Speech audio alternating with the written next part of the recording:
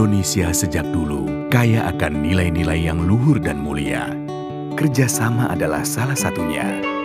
Sebuah prinsip dalam bekerja demi meraih hasil yang bisa dinikmati bersama. Di dalamnya terkandung nilai-nilai kesetaraan, kejujuran, saling menghargai, dan percaya untuk maju bersama. Untuk itulah, kami hadir membawa nilai-nilai yang sama. Sinergikan tiga bank syariah besar dan bertransformasi menjadi bank syariah yang inovatif, modern, dan memiliki visi global. Bekerja sama dengan seluruh umat demi meraih berkah bagi seluruh alam semesta. Karena kami percaya, inilah nilai-nilai Indonesia demi memajukan ekonomi umat. Bank Syariah Indonesia.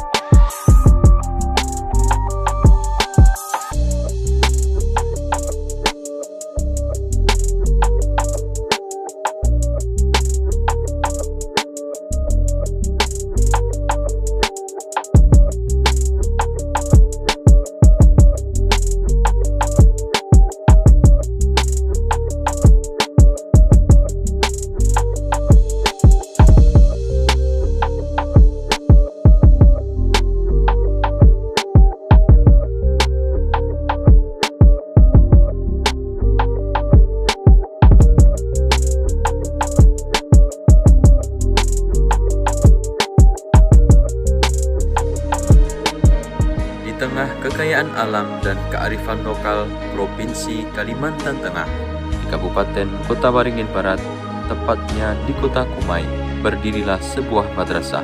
Madrasah tempat kami berbagi ilmu dan pengalaman. Madrasah tempat kami menempa dan mewariskan nilai-nilai kepada generasi bangsa. Ya, Madrasah Ibtidaiyah Negeri 3 Kota Waringin Barat namanya yang beralamatkan di Jalan Berlian nomor 61 RT 16 Kumai Hilir, Kecamatan Kumai. Min 3 Kota Waringin Barat telah berdiri selama 25 tahun dan telah mengalami empat kali pergantian kepala madrasah. Pertama, Bapak Mardian AMA. Kedua, Bapak Dimansyah SPDI. Ketiga, Bapak Muhammad Saleh Suwaidi MPD. Dan saat ini, Kepala Min 3 Kobar dijabat oleh Bapak Muh Basar Kapi SPDI. Banyak kegiatan dan event telah diikuti oleh Min 3 Kota Waringin Barat. Berbagai prestasi pun telah diraih, di antaranya Kepala Madrasah berprestasi tingkat nasional yang berkesempatan studi ke luar negeri tepatnya ke negara kincir angin, Belanda, dan guru berprestasi Kementerian Agama. Keikutsertaan Min 3 Kota Beringin Barat dalam berbagai kegiatan tidak terlepas dari dukungan masyarakat dan orang tua melalui Komite Madrasah yang saat ini diketuai oleh Bapak Said Haji Samsudinur Al-Habsyi. Dalam rangka menyongsong tahun pelajaran 2021-2022, Min 3 Kota Waringin Barat di bawah komando Bapak Mubasar Kapi telah mempercantik madrasah dengan pengecatan paping halaman, penataan ruang kelas, pembuatan taman kelas, serta pengadaan wastafel untuk mendukung PHBS atau pola hidup bersih dan sehat di lingkungan madrasah di era new normal pada saat pembelajaran tatap muka nanti. Assalamualaikum warahmatullahi wabarakatuh. Saya Muhammad Besarkapi, SPDI, Kepala Bin 3 Kota Waringin Barat. Pada kesempatan ini, saya mengajak kepada warga masyarakat Kabupaten Kota Waringin Barat pada umumnya dan khususnya kepada warga masyarakat Kecamatan Kumai, ayo masuk madrasah. Tentunya Madrasah Ibtidaiyah Negeri 3 Kota Waringin Barat yang terakreditasi A. Dan Madrasah Ibtidaiyah Negeri Kota Waringin Barat mempunyai program unggulan baik akademik maupun non akademik yang didukung oleh para guru dan tenaga pendidikan yang berprofesional. Dan pada kesempatan ini juga Mintika Kota Waringin Barat memberi kesempatan kepada peserta didik untuk mengembangkan bakat dan minat melalui ekstrakurikuler yaitu di bidang olahraga yang meliputi sepak bola, futsal, bulu tangkis, atletik, dan pencak silat. Sedangkan di bidang kesenian meliputi nasid, adalah kaligrafi, syarhil Quran, tari, dan drum band. Selain itu juga Mintiga Kota Waringin Barat memberikan pendidikan karakter kepada peserta didik melalui ekstrakurikuler wajib yang harus diikuti oleh peserta didik mulai dari kelas 3 sampai kelas 6 yaitu kegiatan kepramukaan dan selain itu juga Mintiga Kota Waringin Barat mempunyai program unggulan yaitu Tahfidzul Quran yang insya Allah akan dimulai pada tahun pembelajaran 2021-2022 nantinya akan menghasilkan madrasah hibat, madrasah bermartabat. Ayo masuk madrasah. Assalamualaikum warahmatullahi wabarakatuh. Adapun beberapa prestasi yang ditorehkan oleh Min 3 Kota Waringin Barat di tingkat kabupaten, provinsi, dan nasional sebagai berikut. Pertama, juara satu Lomba Voli Putri tingkat kabupaten tahun 2007. Kedua, juara satu Lomba Tenis Meja tingkat kabupaten tahun 2007. Ketiga, juara dua Lomba Badminton tingkat kabupaten tahun 2012. Keempat, juara satu Lomba Gambar Bercerita tingkat kabupaten tahun 2016. Kelima, juara satu Lomba Karate tingkat kabupaten tahun 2017.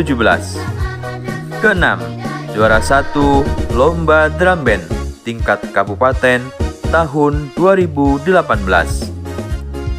Ketujuh, juara dua Sekolah Sehat tingkat provinsi tahun 2004. Delapan, juara delapan tingkat nasional dalam ajang O2SN cabang lomba sepak takraw tahun 2009.